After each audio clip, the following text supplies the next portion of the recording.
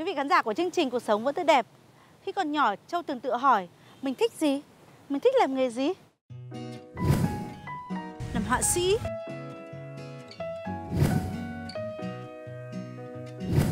Làm nhà văn?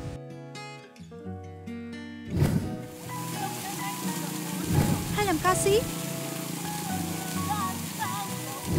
Cho đến khi 18 tuổi, Châu nhận ra đam mê của mình là các công việc xã hội và truyền cảm hứng. Hiện tại Châu đã thực hiện được đam mê và được làm công việc mà mình yêu thích.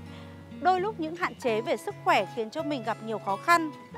Đôi khi mình cũng muốn bỏ cuộc nhưng nghĩ đến những gì mà công việc đã mang lại cho mình, Châu lại vượt qua những trở ngại này để tiếp tục theo đuổi đam mê đến ngày hôm nay. Thế nên Châu nghĩ rằng đam mê cũng là động lực để đi đến thành công. Quả thật nhiều người khuyết tật xác định được thế mạnh, sở thích công việc của riêng mình, từ đó họ kiên trì theo đuổi đam mê và đạt được những thành công nhất định. Trong chương trình lần này, các bạn hãy cùng Châu khám phá những câu chuyện theo đuổi đam mê của các bạn khuyết tật nhé.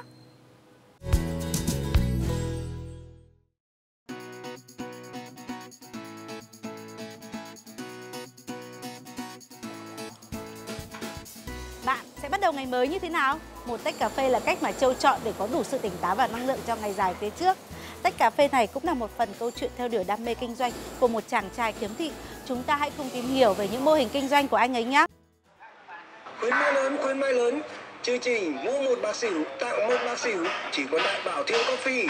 Địa chỉ cung cấp những hạt cà phê thuần chất thiên nhiên, những chương trình khuyến mãi hết sức hấp dẫn. Cho em một cà phê nâu và một bánh bao ạ.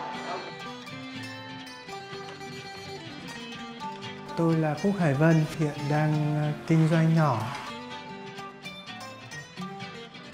Quán cà phê của nhà tôi thì cũng chỉ mới được thành lập nhờ được ờ, một số người bạn giới thiệu và có được một ờ, mảnh vườn trồng cà phê ở Gia Lai.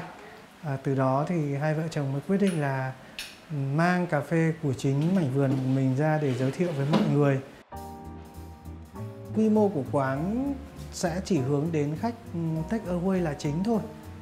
À, thế tuy nhiên thì có một cái không gian rất rất nhỏ để dành cho những cái vị khách đặc biệt. Mình làm ờ, nhiệm vụ ở đây thì tình cờ thấy hương vị cà phê thơm ngon thì uống ờ, thử thưởng thức. Cảm nhận là uống ờ, thử một ly cà phê đá. Vào buổi sáng tôi thấy mình làm nhiệm vụ nó tỉnh táo. Hôm nay tôi đến Định Lương, hưu. Cho nên là tiện thấy cà phê mùi thơm quá vào ngồi uống một ly. Nó có vị đắng của cà phê và cái vị ngọt sau khi uống xong cảm nhận. Cà phê ở đây rất là thơm ngon, hương vị rất là đậm đà. Giá cả rất là hợp lý. Mua mang đi xong rồi đến chỗ làm thì thấy uống rất là tiện. Họ đầu tư ờ, cốc mẫu mã rất là đẹp, bắt mắt. hai vợ chồng mình cảm thấy rất là hứng thú anh Vân rất là năng nổ và rất là thích các cái, hoạt động ờ, xã hội này và vì thế các mối quan hệ của anh rất là rộng anh tìm kiếm các mối quan hệ này và giới thiệu các cái mặt hàng anh ấy làm các cái file bán hàng này các file âm thanh uh, giới thiệu đến khách hàng Chào mừng các bạn đến với Bảo Thiên Coffee, nơi cung cấp những hạt cà phê nguyên chất đến từ các trang trại tại Iagrai, Gia Lai. Chúng tôi xin ra mắt dòng sản phẩm mới, cà phê đóng chai, hết sức tiện dụng. Ngoài ra thì ờ, mọi người ờ, không có kịp thu dọn cốc chén ấy, thì mình sẽ thu dọn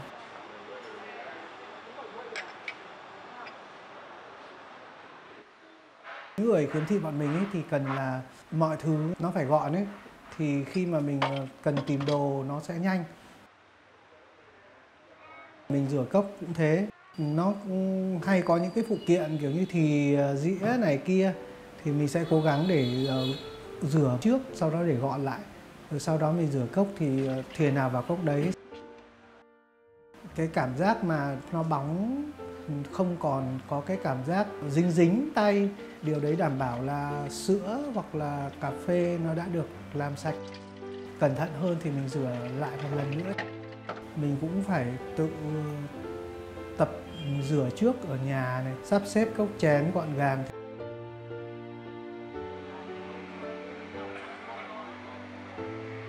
mình cố gắng sáng tạo mỗi ngày.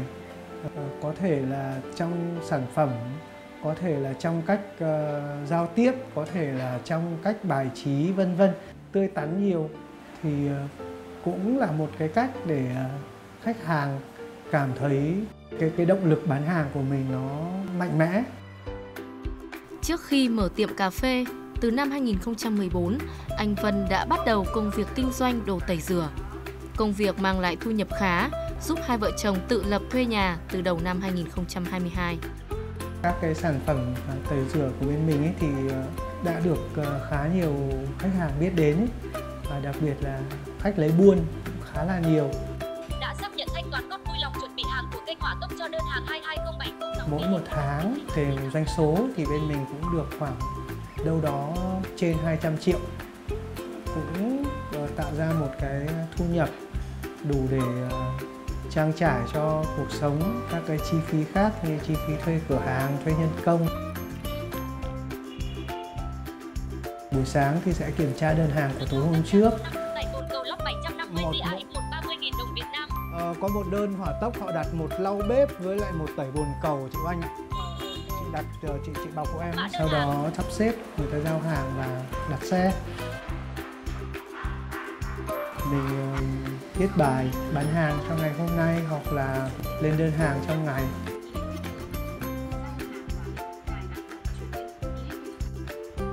Khi mà mọi người ờ, sắp xếp ấy, mình sờ và mình ờ, hỏi lại mọi người ấy, xem sản phẩm này là sản phẩm gì thì ờ, đến khi mà mình nhớ được cái hình dáng của nó rồi thì khi mà mình lấy hàng cho khách nó cũng sẽ nhanh hơn cái này anh tờ 500 cái này. Nhầm thì thôi bác cứ cầm về tiêu không sao đâu. Kinh doanh ấy nó là một công việc khá là thú vị. Bởi vì khi mà anh kinh doanh một mặt hàng tốt ấy còn có thể tạo ra những cái nguồn thu cho những người ờ, làm cộng tác. Từ giai đoạn Covid thì là chúng mình chuyển sang à, công việc là ba chị em thì mỗi người một mảng à, khác nhau thế nhưng mà cũng đều hỗ trợ được cho nhau trong à, công việc. Bạn Vân là chủ động được mọi việc trong cái cuộc sống trong công việc hàng ngày. Anh rất là chăm chỉ cập nhật các cái trang thương mại điện tử ấy và luôn luôn là à, trả lời khách đúng thời gian này. À, có đơn hàng thì sẽ báo mình. Mình sẽ phải là chân chạy ấy Ờ, đóng hàng cái ý tưởng kinh doanh của anh Vân đến thì là nó sẽ ừ, đột phá hơn một chút anh ấy luôn là người nghĩ ra các ý tưởng về các cái khuyến mại này và những cái um, câu chào những cái lời hát mà tự dưng là làm cho người ta cảm thấy hứng khởi và người ta thấy uh, muốn mua hàng Mỗi ngày trôi qua đều là những ngày bận rộn với gia đình anh Vân. Đam mê kinh doanh, nhưng vợ chồng anh luôn dành thời gian nhất định cho gia đình mình sẽ cố gắng mình sắp xếp làm sao đó để đảm bảo rằng là cái thời gian của mình nó được ờ, phân bổ đều.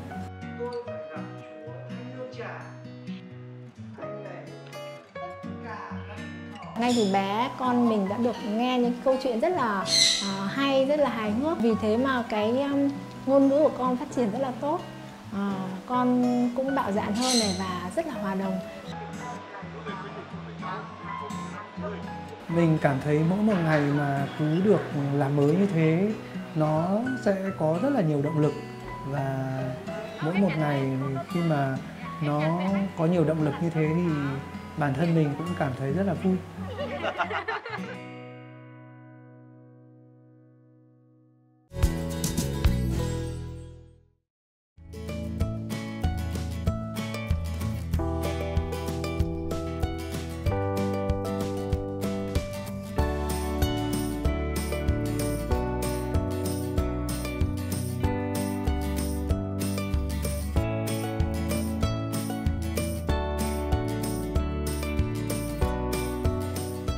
Nhờ những nền tảng mạng xã hội, nhiều người khuyết tật ở khắp nơi đã có thể kết nối và hỗ trợ nhau từ thể chất đến tinh thần.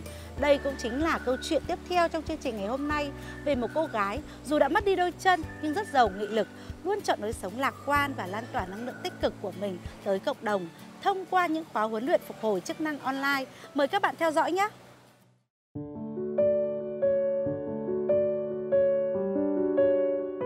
Nhìn những bức ảnh tràn đầy năng lượng và sự tự tin, ít ai biết cô gái này đã từng trải qua nhiều biến cố.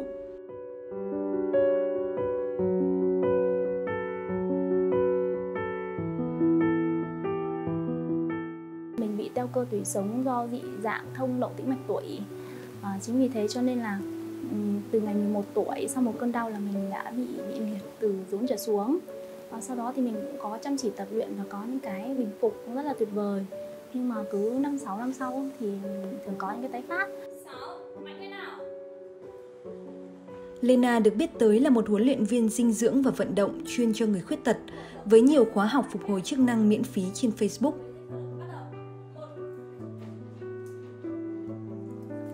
Sau nhiều lần bị liệt chân tái đi tái lại, cô đã đúc rút và chia sẻ những kinh nghiệm của bản thân đến với cộng đồng và truyền cảm hứng mạnh mẽ tới những bệnh nhân liệt khác, giúp họ có ý chí thay đổi bản thân nhờ chế độ ăn uống và tập luyện đều đặn.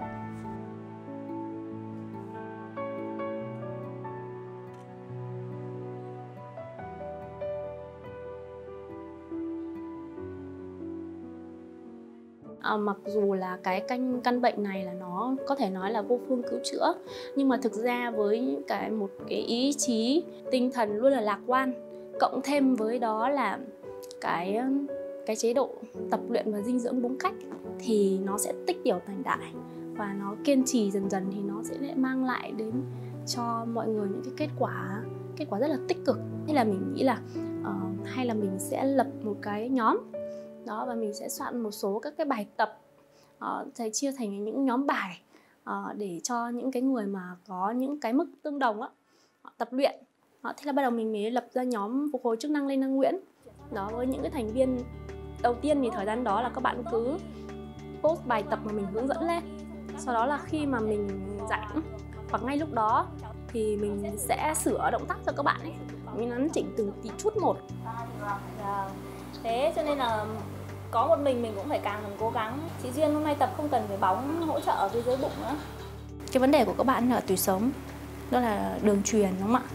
Đấy, thì tủy sống bị ảnh hưởng rồi đường truyền xuống các cái chi dưới của mình bị ảnh hưởng thì mình mới nói với học viên là đó là cái đường dây internet. Nếu mà đường dây bị đứt rồi thì nối không được thì truyền tín hiệu bằng wifi. Đó thì mình luôn trong lớp mình hay nói đùa là bây giờ nhá, điều khiển đến cái phần uh, thân dưới bị mất tín hiệu của mình bằng tín hiệu wifi. Uh, cái phương pháp của mình nó là tinh thần dinh dưỡng và vận động. Tròn 2 năm thành lập, nhóm phục hồi chức năng Lê năng Nguyễn đã có hơn 400 thành viên. nhiều phương pháp tập luyện và chia sẻ online, cô gái bé nhỏ đã kết nối được một cộng đồng lớn trên khắp cả nước. Tập luyện online thì nó sẽ tiết kiệm cho các bạn chi phí rất nhiều. Khi mình hướng dẫn các bạn là với học phí là vô giá ờ, chỉ với một nút chạm thôi các bạn không mất tiền các bạn đi đến phòng tập các bạn không phải thuê huấn luyện viên và các bạn được tập luyện trong một môi trường tích cực với những người uh, có cái hoàn cảnh giống mình. Để từ bản thân Lena sẽ nhân bạn lên những cái trưởng nhóm. Và những bạn trưởng nhóm này cũng sẽ tập cùng với các bạn khác.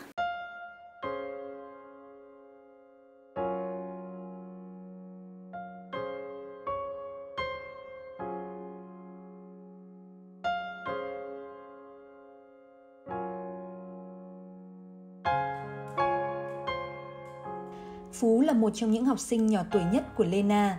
Hôm nay là ngày đầu tiên hai cô trò gặp nhau sau quãng thời gian chăm chỉ luyện tập qua màn hình điện thoại. Mình là người lao động tự do, nên thời gian cũng không có. May quá gặp được ờ, cô cô hướng dẫn ờ, những bài tập. Lúc ấy là đang dịch bệnh, cho nên là không được gặp trực tiếp mà không được ấy. Tất cả là cô giúp đỡ qua cái chương trình online. Thế là cả nhà cháu là cứ xuống vào tập với nhau giữ cho con tập đấy, cứ theo bài của cô La, cứ thế là cháu tuyên triển.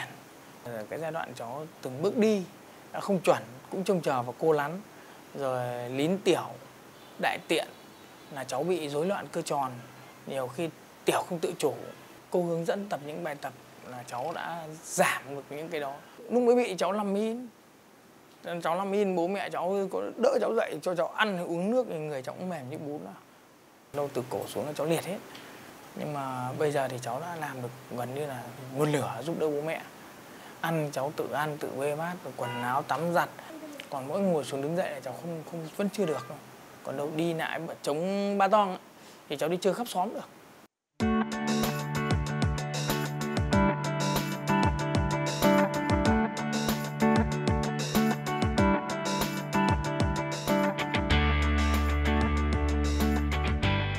Con đã tập được tầm một năm rồi ạ. Mỗi ngày con tập 30 phút ạ. Lanh sấp, bờ lanh nghiêng, đổi bờ lanh nghiêng đổi bên, lên sườn, lên sườn đổi bên, bắn súng và đầu gối khử tay ạ. Ừ, hôm nay con gặp cô Nena, con thấy rất vui và cô tặng con một quả bóng ạ. Con có lời hứa là con sẽ chăm chỉ tập và đi được ạ những cái mà mình dạy cho các bạn mình truyền tải cho các bạn ừ, thực ra là mình mong muốn mình cho đi một cái gì đó để mình để mình hy vọng mình cũng nhận lại được những sức khỏe như thế.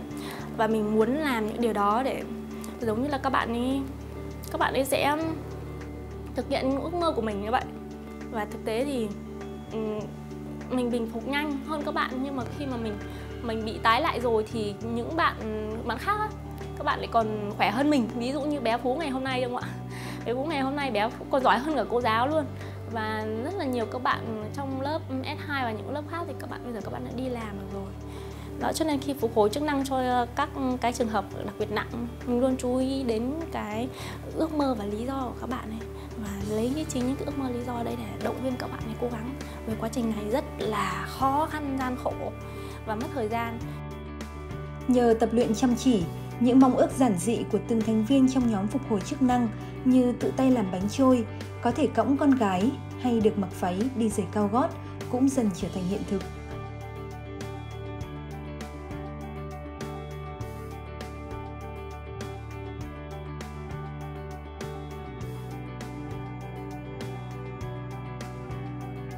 Còn với Lena, cô vẫn đang miệt mài theo đuổi ngành y học cổ truyền tại trường y dược Tuệ Tĩnh với ước mơ có thể mở một phòng phục hồi chức năng và giúp đỡ nhiều người hơn nữa. Có rất là nhiều bác sĩ giỏi về các cái bệnh mà mình đã nêu đó. Nhưng mà mình cũng muốn tiếp cận ờ, về các cái bệnh này theo cái góc độ của, một người bệnh. Đó. Thì nó cũng sẽ ừ, tốt hơn cho bệnh của mình và những cái người chấn thương cuộc sống đó và cũng đồng thời nó cũng sẽ củng cố thêm về cái mảng dinh dưỡng và vận động của mình. Đi học rồi có mong muốn um, được giúp đỡ nhiều người hơn thì sẽ phải hoàn thiện về kiến thức nhiều hơn. Cho nên là mình quyết tâm đi học.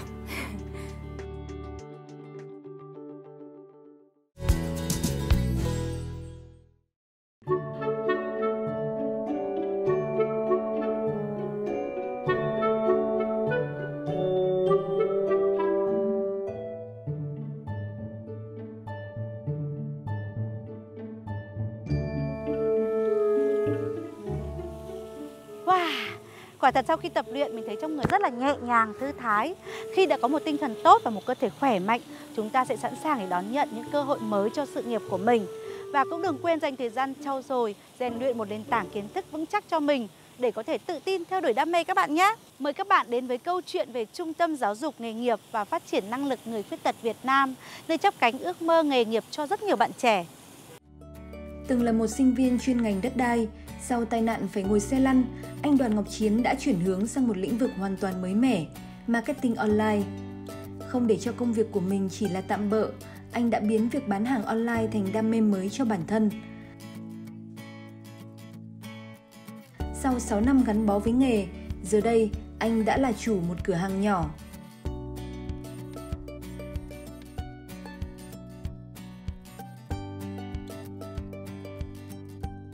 một thời gian mình bị tai nạn ấy, thì mình cũng có tìm hiểu về các cái công việc cho người khuyết tật ấy. thì qua một thời gian tìm hiểu thì mình thấy là nghề marketing online nó sẽ phù hợp với sức khỏe của bản thân mình ấy. công việc chính của mình là quản trị website làm SEO Google với lại là chạy quảng cáo mình cảm thấy mình có một công việc mình có thể giúp ích được cho bản thân có thể kiếm được thu nhập cho bản thân mình thì mình cảm thấy nó cuộc sống của mình nó thay đổi rất nhiều ấy.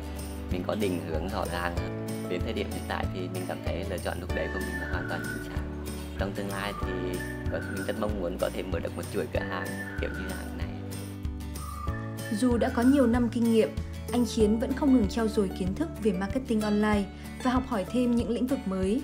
Nơi anh chọn là Trung tâm Giáo dục Nghề nghiệp và Phát triển Năng lực Người Khuyết tật Việt Nam, còn gọi tắt là VDADC, một địa chỉ học nghề quen thuộc với nhiều người khuyết tật tại Hà Nội.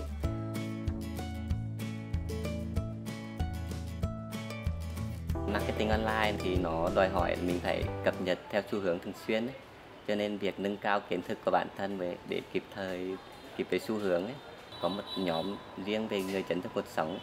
Các anh chị trong nhóm chấn thương cuộc sống là cùng hoàn cảnh với mình thì qua quá trình giao lưu với mọi người được biết trung tâm có một khóa học để về marketing online ấy, quyết định vào đấy học sau một thời gian trung tâm có mở thêm một khóa học riêng về chứng khoán thì mình cũng từ đấy mình cũng đăng ký vào học luôn mình cũng có mong muốn tìm hiểu kỹ thêm về nó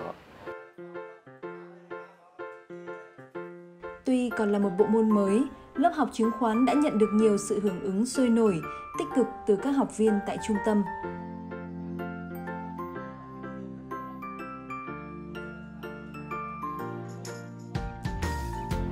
À, mình tham gia lớp học chứng khoán này được cả 2 tháng rồi. Đã hiểu hơn về chứng khoán và và mình hy vọng là sau khi hoàn thành lớp học này thì mình sẽ uh, có nhiều kiến thức để có thể trở thành một nhà đầu tư mới.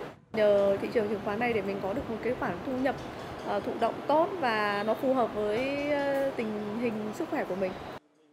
Trong như lớp chứng khoán của tôi như này thì là các bạn ấy là chấn thương cuộc sống, trí tuệ và kiến thức của các bạn từ trước nền tảng rất là tốt.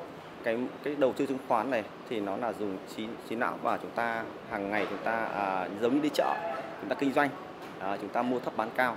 Thì chợ có người tốt kẻ xấu, tất cả mọi thứ nó nó nó phe Vậy vậy thì bạn phải đủ kỹ năng. Mà đầu tư thì chúng ta cần phải hiểu doanh nghiệp. Mà hiểu doanh nghiệp thì chúng ta cần phải nắm chắc doanh nghiệp nó họ đang phát triển như thế nào. Thì tôi chia sẻ những kinh nghiệm của tôi về cái gọi là uh, uh, nghiên cứu doanh nghiệp về FA doanh nghiệp và bên cạnh đấy thì các cái tiêu chí về mặt giá hợp lý và cái giai đoạn thị trường.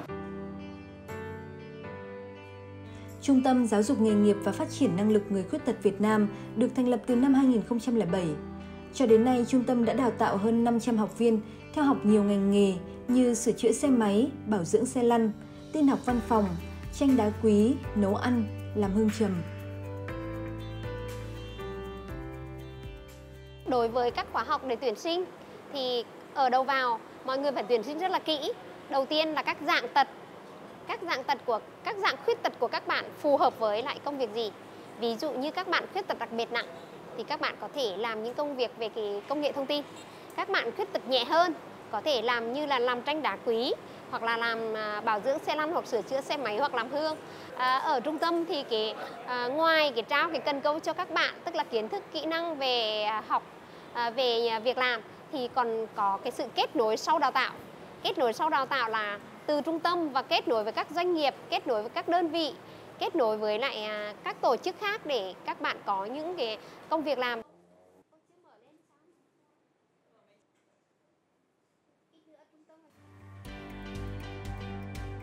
Bên cạnh nhiệm vụ giáo dục nghề nghiệp và việc làm cho người khuyết tật, thì việc phát triển năng lực thể chất cũng là mục tiêu ưu tiên xuyên suốt của trung tâm. Para Taekwondo không chỉ là những động tác para Taekwondo bình thường mà còn được được các thầy điều chỉnh để phù hợp với thể trạng và dạng tật của từng người. Mình có thể làm việc lâu hơn và sức khỏe dẻo dai hơn. Từ khi tham gia trung tâm mình có cái chương trình ờ, uh, para Taekwondo mới có thể là tính đến việc là đi thi đấu. Trước đó mình không hề nghĩ tới. Các hoạt động của trung tâm nó gắn liền với sự phát triển năng lực của người khuyết tật ngoài cái việc dạy nghề tạo việc làm thì phải phát hiện ra à, những người có khả năng năng lực phát triển tốt hơn về kinh doanh về nghề nghiệp về à, thể thao là chúng tôi hướng tới là, là sẽ bồi dưỡng cho họ để họ phát triển cao hơn nữa. Khi đến trung tâm ngoài cái việc học văn hóa và tập luyện thể lực lực các bạn còn được học những khóa học định vị bản thân. Khi định vị bản thân mình là ai? Thì các bạn sẽ biết là mình sẽ phù hợp với công việc gì và khả năng năng lực từ đấy thúc đẩy cái tinh thần làm việc và động viên uh, người khuyết tật phải tự tin vào bản thân Cháu rất thích tựa đề của một cuốn sách đó là được làm những điều mình thích đó là tự do, thích những điều mình làm đó chính là hạnh phúc. Khi đam mê điều gì đó thực sự, bạn sẽ sẵn sàng mọi thứ, vượt qua mọi thách thức để nuôi dưỡng và sống với đam mê của mình. Hãy ước mơ lớn, suy nghĩ lớn, luôn can đảm và tin tưởng vào bản thân, chấp nhận thất bại và học hỏi từ những sai lầm của mình. Con đường đến với đam mê và sống hết mình với nó không hề dễ dàng. Nhưng nếu kiên trì với hành trình của mình, chắc chắn sẽ có ngày bạn chạm tới được những ước mơ tưởng như xa vời.